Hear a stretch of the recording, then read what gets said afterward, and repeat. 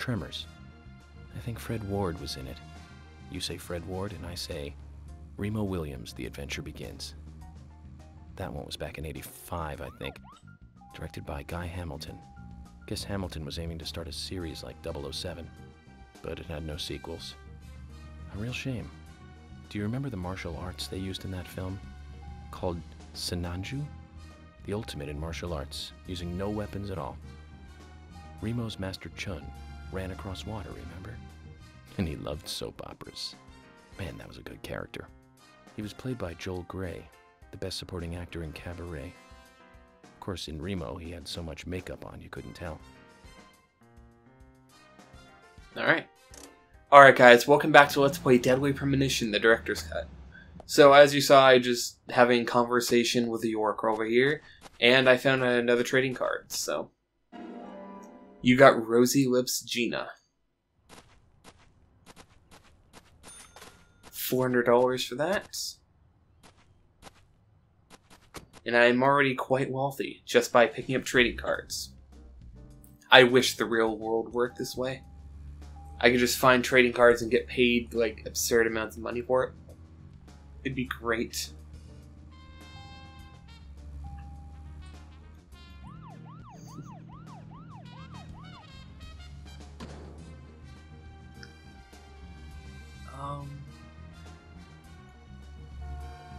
Got hit.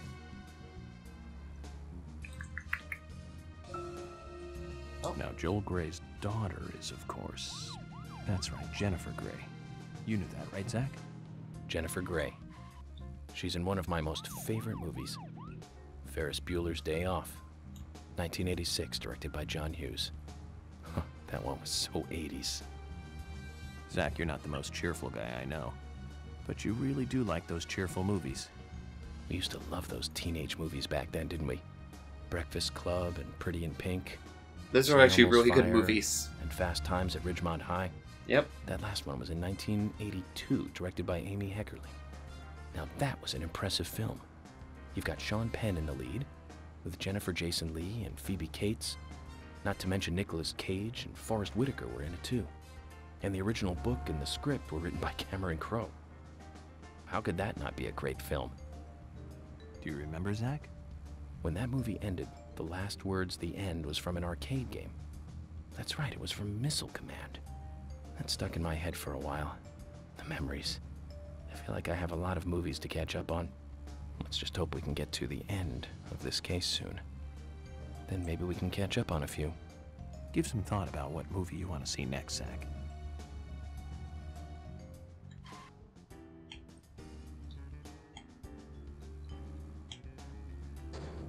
Go. So I don't think we can get this card yet. I think we actually have to win this race over here, which I don't think I ever did any of the races in the previous playthrough.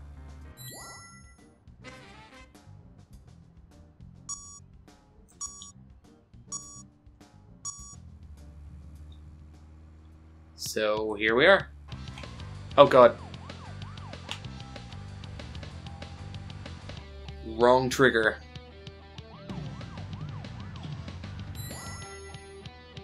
Oh, really?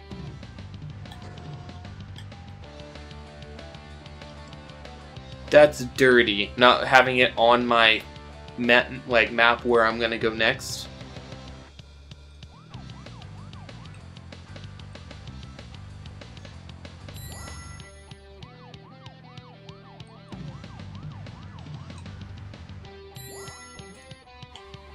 Oh, uh, that was a bit faster a turn than is actually physically possible.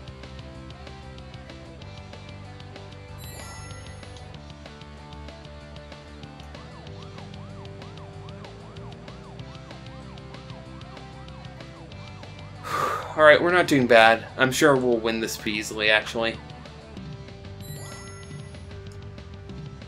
Unless I start spinning in circles like that for some reason.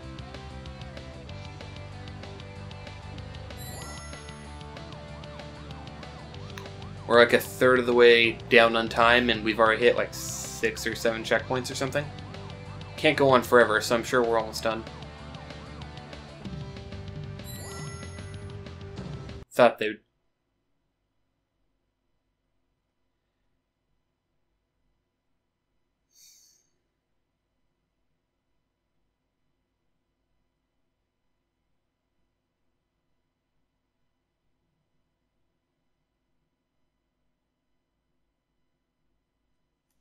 Okay.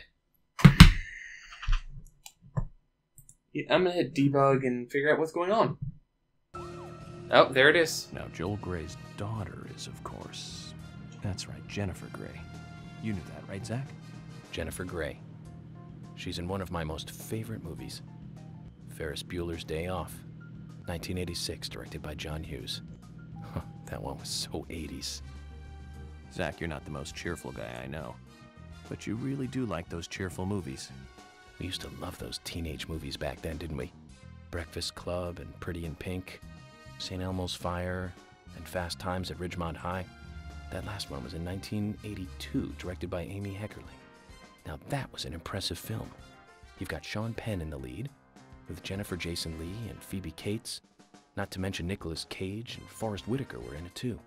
And the original book and the script were written by Cameron Crowe. How could that not be a great film? Do you remember, Zach? When that movie ended, the last words, the end, was from an arcade game. That's right, it was from Missile Command. That stuck in my head for a while. The memories. I feel like I have a lot of movies to catch up on. Let's just hope we can get to the end of this case soon. Then maybe we can catch up on a few. Give some thought about what movie you want to see next, Zach.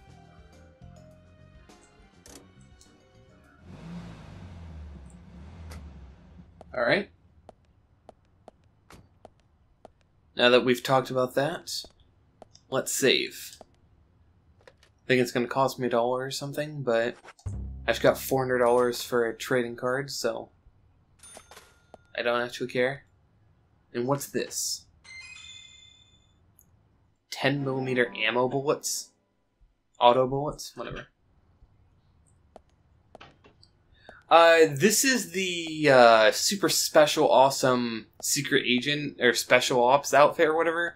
gives me two times money, damage, and health, and reduces my hunger and tiredness by half.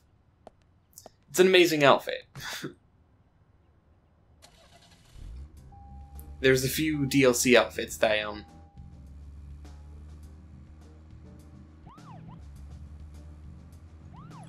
Now, where was it? I think it was down here.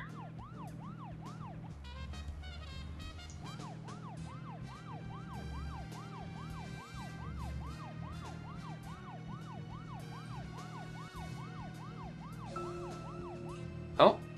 Okay, Zach. I've been thinking about what movie I'd like to watch next. And finally, I've made a decision. It's always hard to narrow it down just to one movie, but I've put a lot of thought into this, and I'm sure you'll agree with me. 1975. Directed by Steven Spielberg himself. Yep. The grandfather of panic movies. Set in a small town in Massachusetts. That movie made me stay away from the beach for years. I was always afraid a hand might come It's Jaws. The underwater camera work accompanied by that John Williams music I'd never been that scared by a movie before. But the best thing about it is that it isn't just another panic movie. The mayor who won't close the beach even when there are so many victims. Chief Brody putting the citizens' lives above all else. The film gave a lot of time to the dispute and friction between them. It certainly had a lot of messages for a two hour film. That's probably another reason why it was such a record breaking hit.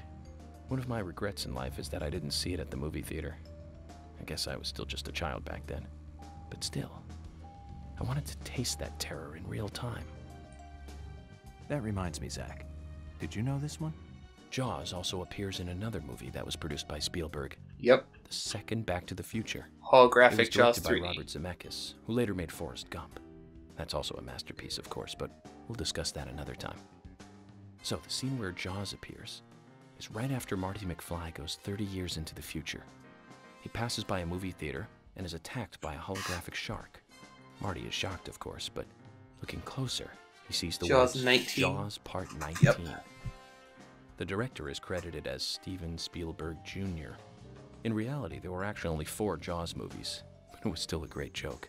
30 years from 1985 would be 2015. We'll be there pretty soon. I wonder what life would be like by then, Zach. All right. Now, for as a heads up for all the people who don't understand what happened, uh, my game crashed. It just froze and I couldn't do anything about it. So now we're gonna retry this race, and if it freezes again, we're not doing the races for now. I'll have to figure out a way to fix that.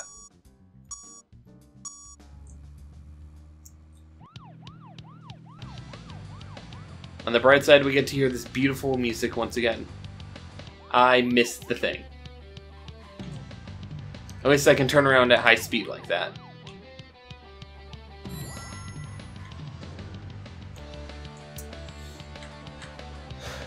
Okay. I need to get used to playing this game. I need to get better at this, so let's do this. This is a great way to work on my driving skills. Or a lack thereof. No, I didn't mean to... Hmm. I meant to tap it, not hold it for a moment.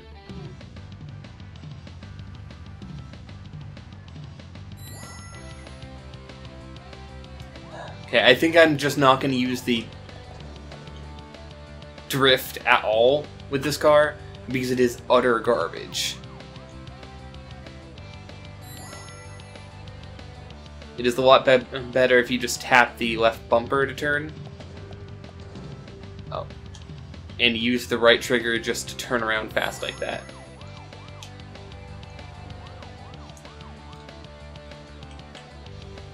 It really helps the turnaround speed.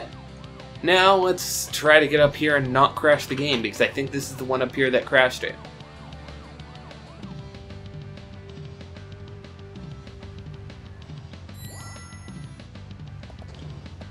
Yes, that was the one that crashed it right there. I think this might be it? No? Nope.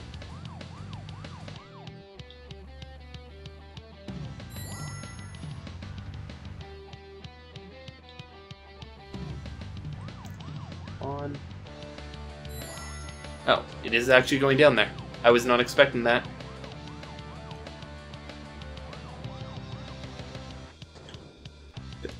Okay, apparently can't knock down street signs. You can do a lot of things, but not street signs.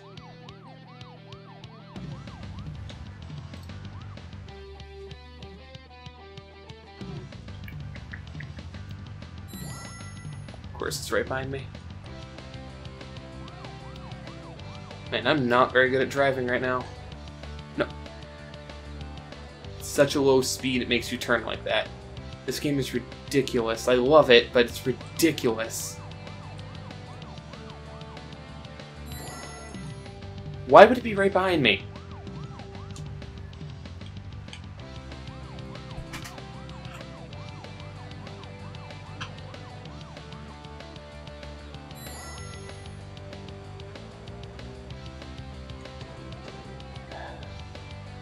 Yeah, so this is where I started, so this is the last one. Great! Barely finishing within time, because I'm a terrible driver. I'm a lot worse than the first time I played.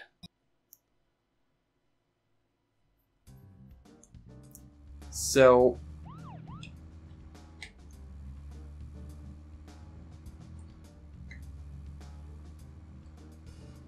Speed up to here, and hop out of here.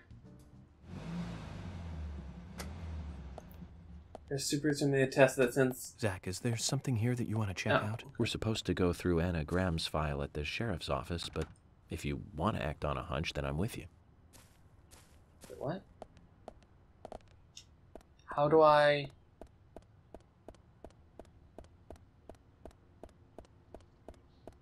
I have confusion.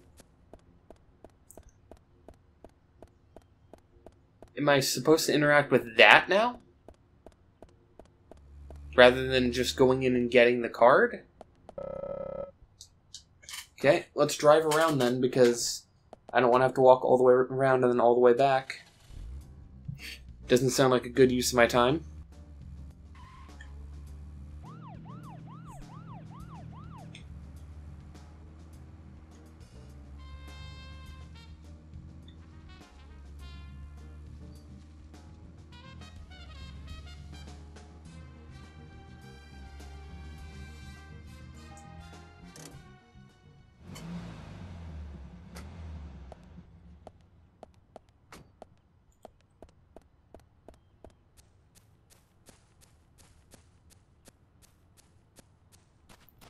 Alright, now what do I do here? Marvelous!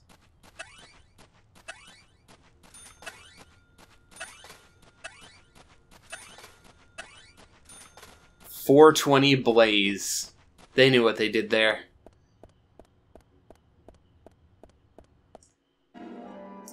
Keith Ingram.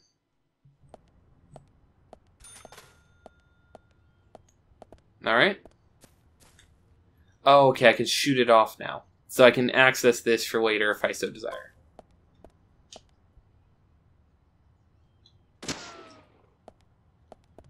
Okay, time to run back over here though, because this is where I left my car.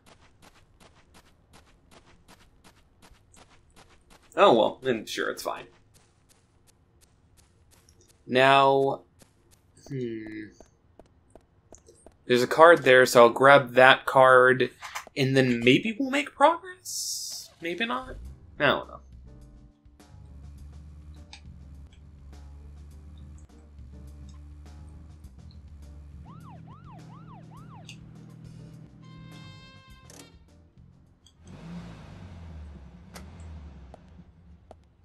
Crimson, I have absolutely no idea how to do that. Honestly, I uh, I just played the game and I eventually figured it out. Also, I got a trading card for a record player. Got four hundred dollars for it because they pay you obscene amounts of money to gather trading cards. It's two hundred dollars without the suit, but I mean that's still two hundred dollars for a trading card. Um, actually, wait. Real quick.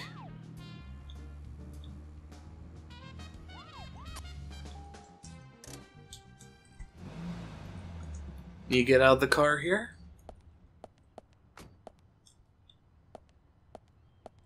And use the phone booth. Yes, I want to save. And yes, it cost me a dollar, but it's one dollar, and who cares?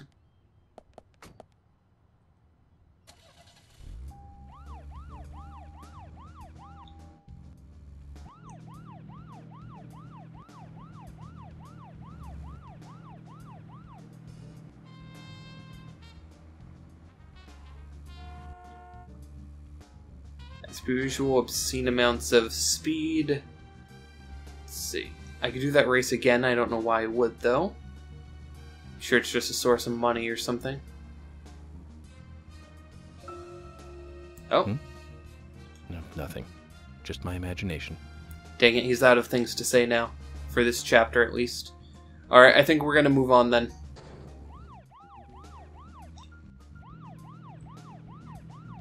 Let's go.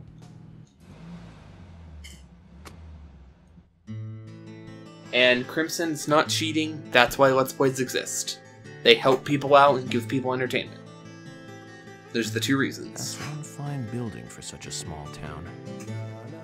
The exterior woodwork is spectacular. Don't you agree, Zach?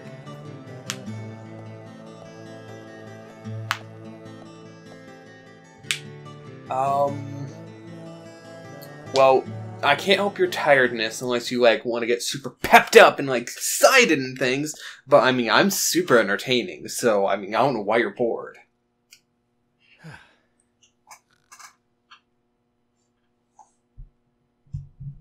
oh hey, Cassie, it's your favorite character. Uh,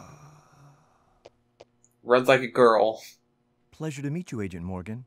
We've been expecting you. I'm Thomas MacLean, the sheriff's assistant.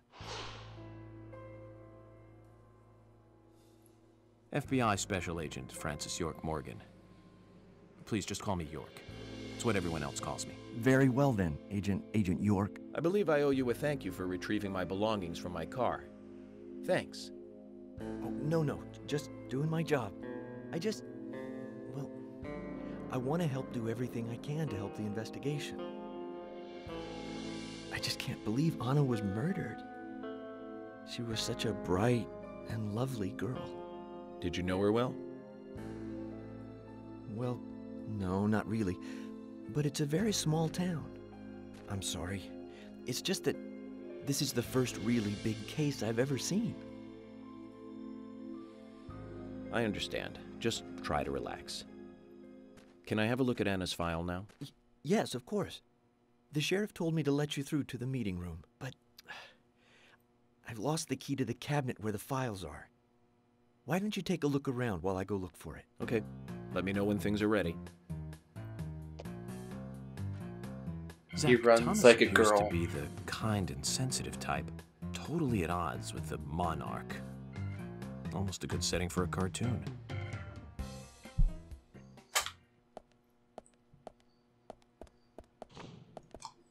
Time to run around at the speed of sound. Long tailed flying squirrel keys. Because, yes, they mark all their keys with different kinds of squirrels.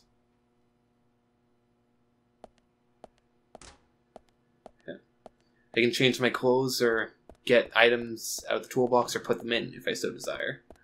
But I don't, so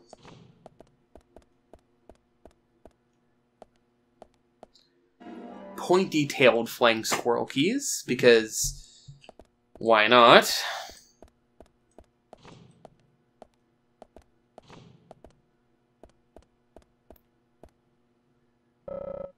Agent York, did you find the key?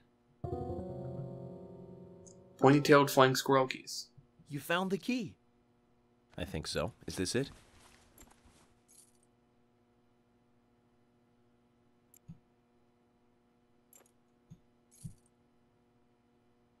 Ah, you don't know your squirrels, do you? This isn't the right key holder.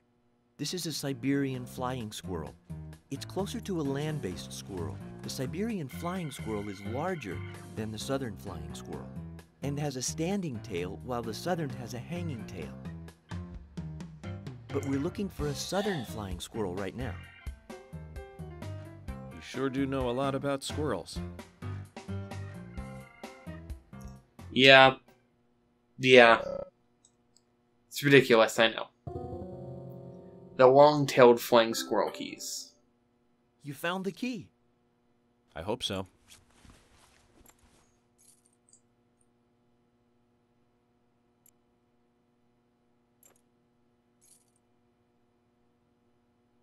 Uh, no.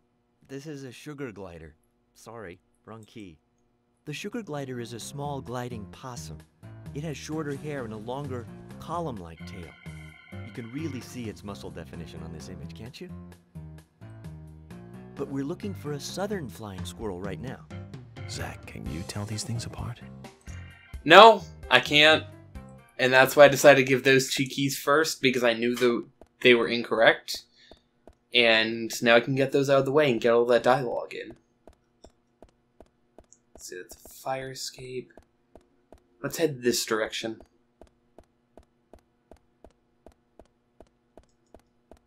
We can't go in there. Can go in here though.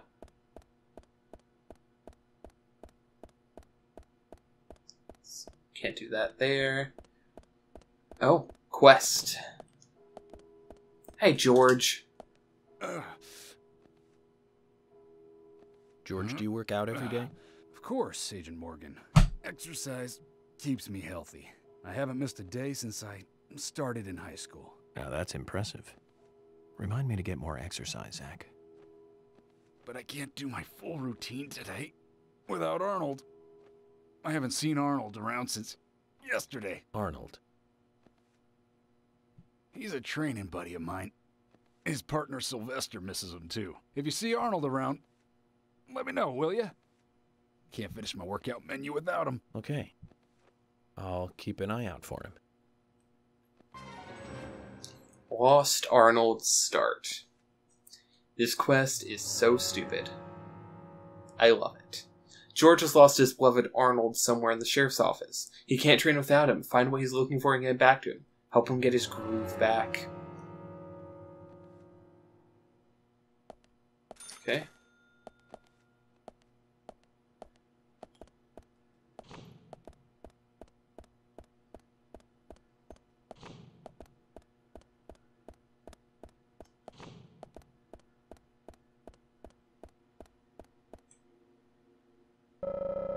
Nice weather this morning, but it will rain the whole afternoon. Got $28 for checking the weather.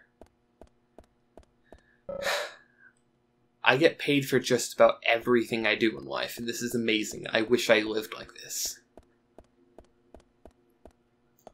But we need to do something. Now, I need to exit out to the main menu, so how do I do that?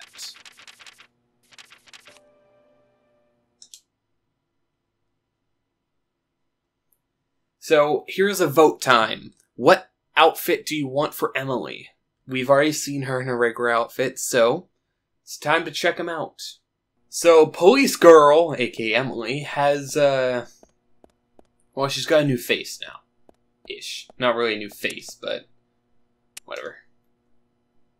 Um.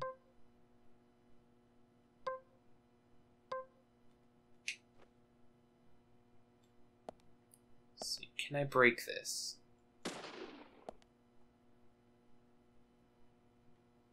Can I not break this?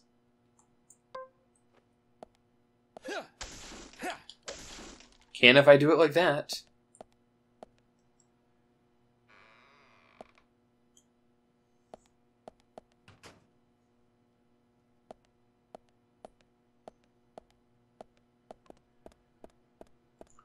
Alright.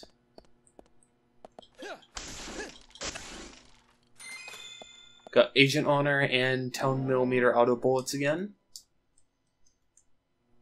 You know, because I need them so much. Totally have an automatic weapon. Striped squirrel key. And nothing else in here. Didn't mean to actually take that out, but now I look like a weirdo running around with a crowbar, or I guess a steel pipe in my hands. I could sleep in the jail cell if I wanted to, because that's just something I can do.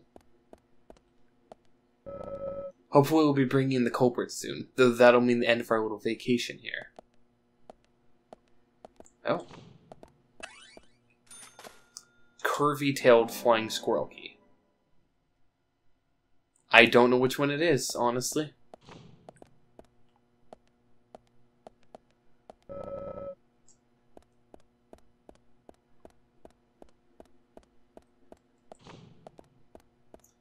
Um,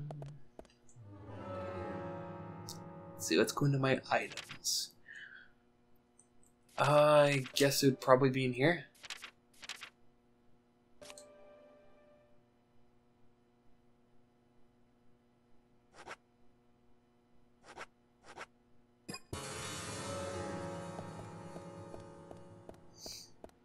Guys, you're being ridiculous in the chat again.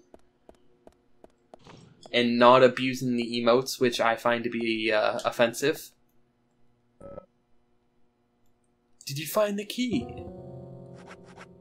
Um. Let's try the scraped squirrel key.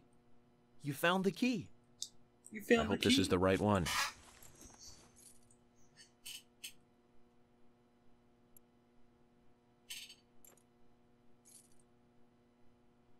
Uh, you found a Siberian chipmunk this time, have you? Sorry, wrong key. A Siberian chipmunk?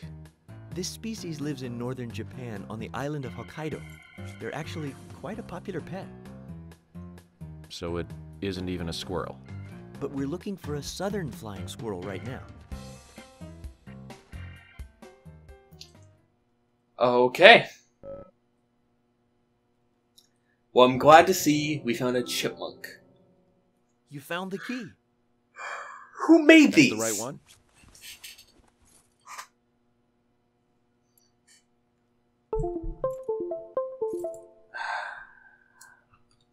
Yes, a southern flying squirrel.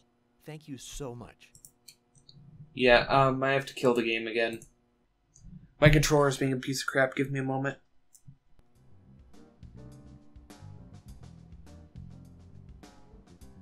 The victim's name was Anna Graham.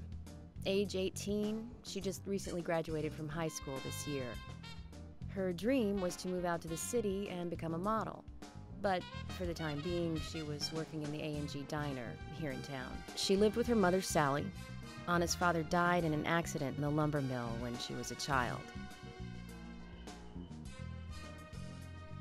Her mother is unemployed and lives on the insurance money from her husband's accident.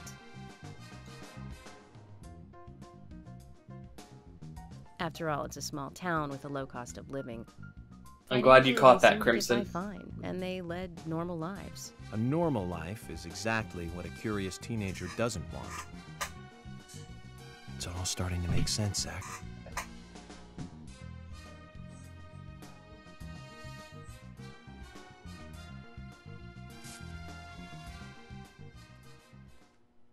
City folk, huh? No. No, I take that back. All of them can't be as bad as him, and some should have better manners. Huh. This is a good biscuit. I've never tasted a biscuit this delicious. Where in town can I get these? Well, actually, I, well, I, I baked them myself. Okay. Mm, that's amazing. What are you doing in law enforcement? I'm very particular about biscuits, I'll have you know. And coffee milk and butter you've achieved here. Oh, and wow. everything Agent else. Morgan, the autopsy's ready. You are welcome to accompany me to the Greenvale General Hospital. Emily, you come too. Thomas, stay here and tidy up these files. Yes, sir. We're going to use the car outside. Let's get going. Poor Thomas. You might think this is just a small town police investigation, but our inspections are thorough and solid. I'm hoping you won't slow us down.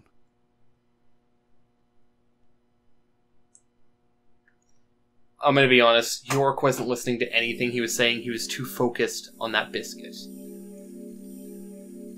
Also, that clear time though. Payment rewarded. Basic wage, unpaid salary. Yeah.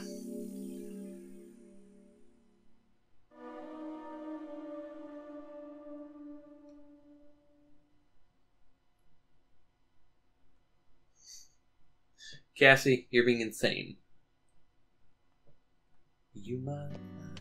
Now I'm just thinking of Bo Burnham's The thing. Greenvale General uh, Hospital right brain, left brain. lake. It's too far to walk.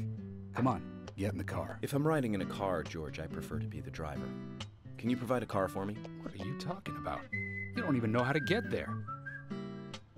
Which is another good reason for me to drive, George. I need to learn my way around town. Oh, man. Very well. Then I'll ride with you. I want to keep an eye on you. Fair enough. Just one thing, Agent Morgan. Your involvement in this case is limited.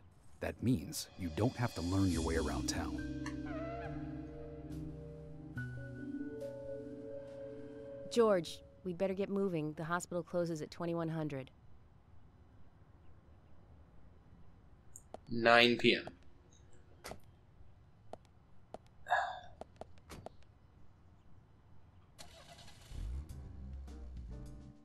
Agent Morgan, get us there quickly, but drive within the speed limit. Just because you have a badge doesn't mean you can drive like a maniac. George, what are you, his mother? We just need to get the autopsy results. Agent York isn't accustomed to the town yet. Give him a little slack. Hmm. My face when I overturned my car while they're inside. Well then, Agent York, let's get going. Sure. Sounds good.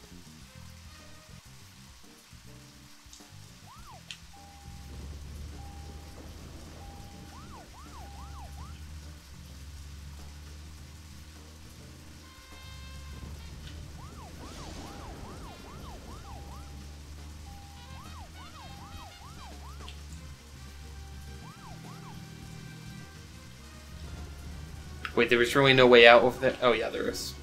Okay. I was about to say, I was like, what? Agent Morgan, I can't help noticing you prefer to work alone. Most of the time, yes. Don't you get lonely flying all over the country alone? I must say, I've never felt lonely. Are you married? Unfortunately, relationships and I are fleeting strangers. I don't get on very well with women, you might be surprised to hear. That's because you're young. You notice things like that at my age. You have to treat women carefully, like a thin crystal wine glass. If you don't, they can cut scars on your face, just like yours, right? George, is this an interrogation? I see you're a seasoned professional. Uh, But let's not talk about my scar. It was caused by a problematic woman. Well, she got you good. Terribly good. It'll fade away, and nobody will notice it in a week. A week? It's not that light of a wound.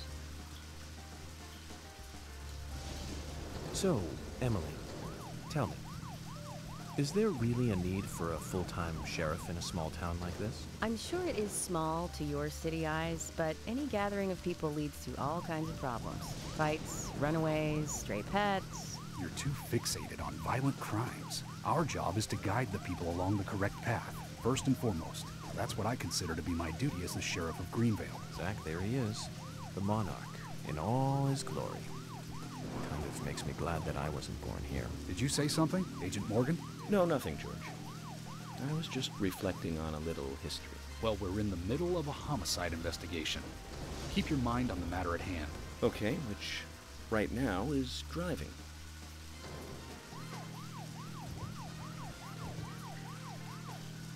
And we're there.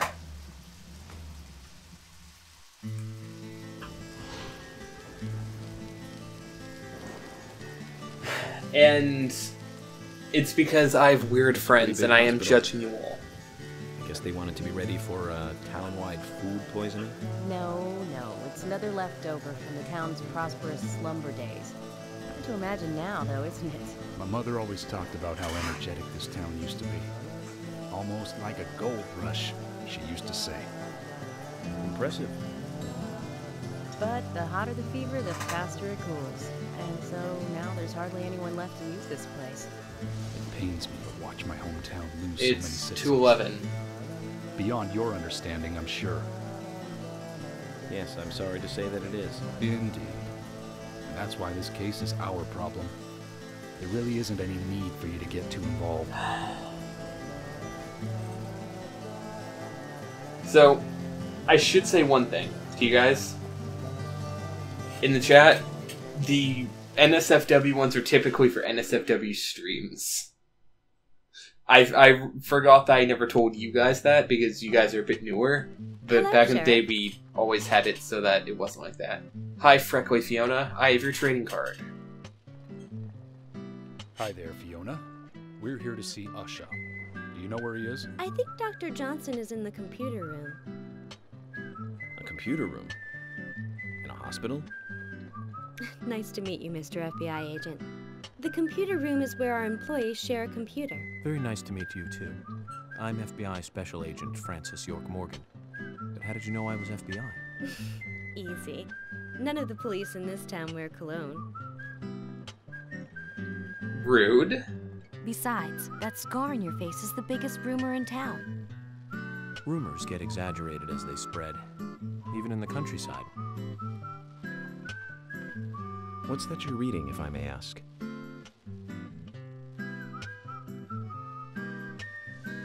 You haven't heard of this yet?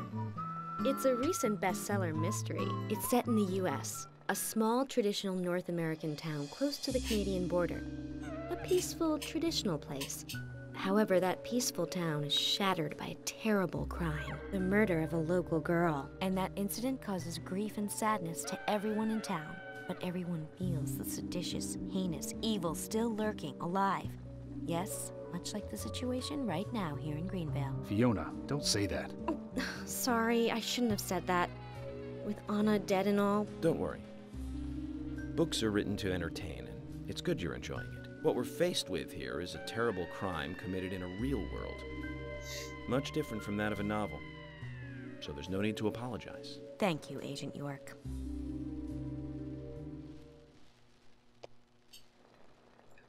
Okay. So, finish talking to her, and we're gonna save. And guys, next time on Let's Play Deadly Premonition, the Director's Cut. Uh, I'll be meeting back here. We're just gonna go in here and get the autopsy report. See you guys then.